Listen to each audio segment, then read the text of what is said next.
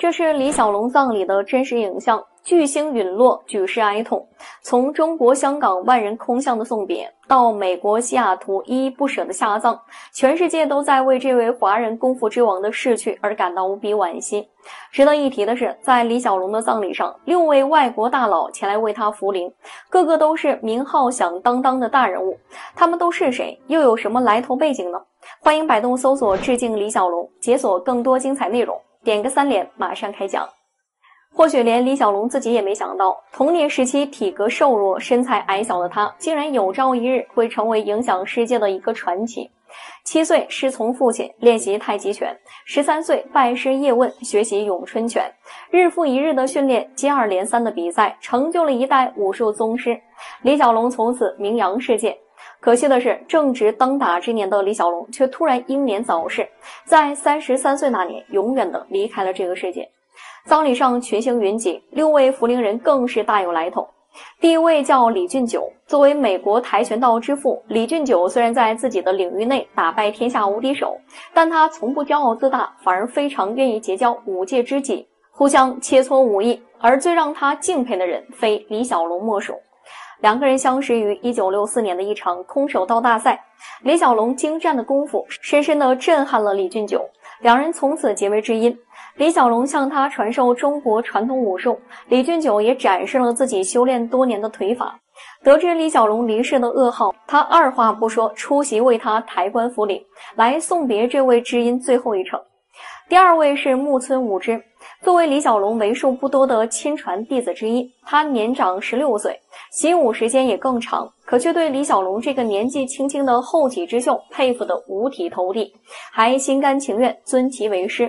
而李小龙在生前更是说过：“不管我学的有多厉害，木村总在我之上，我会永远尊重他。”足以可见这位徒弟在他心中的地位。单纯论关系而言，李小龙是师傅，木村武之是徒弟。但李小龙的第一家震藩国术馆，如果没有木村的帮助，是万万开不起来的。而在李小龙去世后，这家武术馆也由木村接手经营。第三位同样是一位亲传弟子，丹尼伊诺山度，两人结缘于一场比赛，李小龙只是稍作指点，便让丹尼从前半场的毫无还手之力，直接逆风翻盘，赢下比赛。丹尼对他大为崇拜。希望拜他为师，而李小龙也觉得他孺子可教，收他做了自己的亲传弟子。在李小龙所有弟子中，丹尼的武术水平最高，是唯一一位继承他衣钵的人，也成为继承李小龙之后当之无愧的世界截拳道第一人。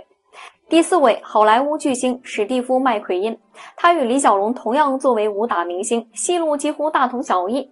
两个人之间有激烈的竞争，也有切磋与学习。就在所有人都以为史蒂夫和李小龙会一直相爱相杀下去，却突然传来了这个惊人的噩耗，而史蒂夫也怀着巨大的遗憾，亲手送别了这位可敬的对手。第五位，詹姆斯·科本。同样是一位好莱坞明星，他与李小龙之间没有复杂的竞争，只有良师益友的交情，甚至可以说詹姆斯还是李小龙在美国影视圈的引路人。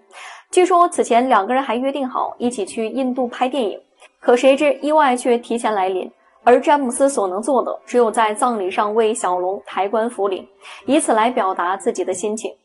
与前五位不同，第六位福灵者十分神秘，在所有的视频影像资料中都没有留下他的清晰画面，只有一个模糊抬棺的背影。但从葬礼名单中可以得知，这个人名叫彼得。虽然对他知之甚少，但与李小龙交情深厚，还能有资格为他抬棺扶灵的人，一定不简单。更何况根据前几位的身份判断，此人想必也是大有来头。一海星辰，哲人其伟。一代功夫巨星虽然逝去，但他从未陨落，永远是我们中国人的骄傲。好了，今天的故事就讲到这里，欢迎大家给我们点赞、留言、加个关注，下期再见。